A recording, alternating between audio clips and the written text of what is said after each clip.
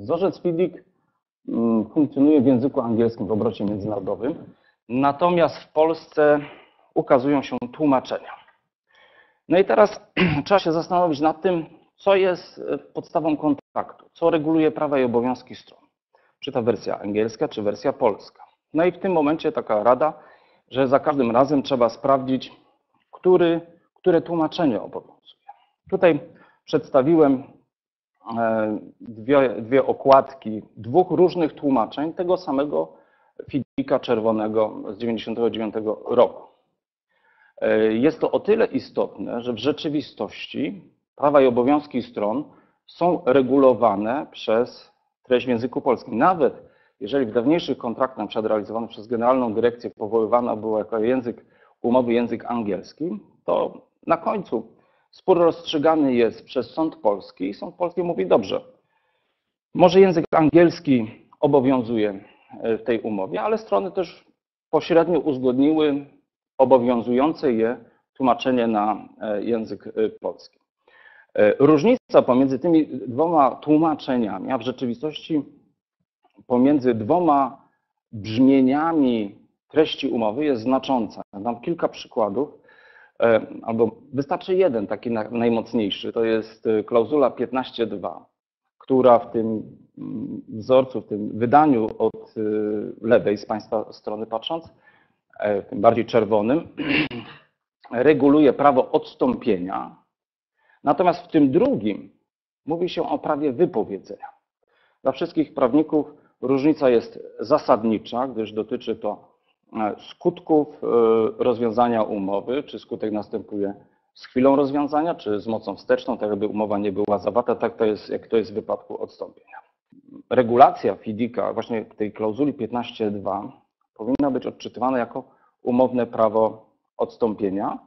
No i w tym momencie należy ocenić, czy ta klauzula jest ważna w świetle polskiego prawa, dlatego że FIDIK nie reguluje terminu, w jakim można skorzystać z umownego prawa odstąpienia. Poza tym, jako przyczyna odstąpienia jest na przykład ogłoszenie upadłości, co jest z kolei sprzeczne e, z prawem upadłościowym. Przepisy kodeksu cywilnego e, przewidują, że strony mogą się posługiwać w wzajemnych stosunkach e, wzorcami umowy i trzeba powiedzieć, że FIDIK nie jest, tak jakby to wielu inżynierów, przepraszam, obecnych inżynierów tutaj, chciałoby, że FIDIC nie jest samodzielnym źródłem prawa. FIDIC jest tylko wzorcem umowy, który jest e, przygotowywany przez zamawiającego.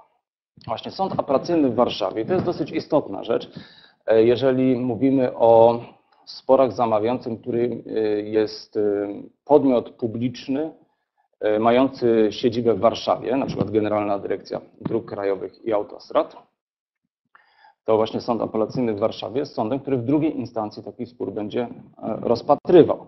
No i Sąd Apelacyjny e, wyraził pogląd, że e, wykonawca, który przystępuje do przetargu, tak jak zresztą tutaj napisałem, wyraża zgodę na takie brzmienie umowy. I tutaj chyba kluczowe jest najważniejsze ostatnie zdanie, gdzie sąd apelacyjny powiedział, powód nie zgłaszał w toku postępowania o udzielenie zamówienia publicznego jakichkolwiek zastrzeżeń do treści umowy. Więc e, jak to w ogóle wygląda, właśnie czy powód mógł, czy ten wykonawca mógł zgłaszać jakiekolwiek zastrzeżenia do treści umowy? E, umowa e, w sprawie udzielenia zamówienia publicznego, umowa o roboty budowlane w tym wypadku, jest częścią specyfikacji istotnych warunków zamówienia. E, prawo zamówień publicznych w artykule 36 mówi, że e, częścią specyfikacji są także ogólne warunki umowy albo wzór umowy, jeżeli zamawiający wymaga od wykonawcy, aby zawarł z nim umowę w sprawie zamówienia na takich, na takich właśnie warunkach. E, czyli w rzeczywistości te warunki nie są negocjowalne. Po prostu jest wzór, i albo to bierzesz, albo tego nie bierzesz. Czy co może zrobić wykonawca? Wykonawca może skorzystać e, z tej całej procedury wyjaśnień do specyfikacji istotnych zamówi warunków zamówienia. Przy czym z tym trzeba też bardzo ostrożnie. Bo jeżeli się pyta, składa pytania o wyjaśnienia, można dostać wyjaśnienie w zupełnie innym kierunku niż się oczekuje. Czyli nawet ta pewna, pewno, pewne niedopowiedzenie wzorca umowy, które w przyszłości można by było interpretować na korzyść, w drodze tych wyjaśnień może od razu te wszystkie wątpliwości mogą zostać rozwiane na e, niekorzyść. Także o tym też trzeba pamiętać. Natomiast to się zwraca, na to się zwraca uwagę też e, w orzecznictwie Krajowej Izby Odwoławczej, że e,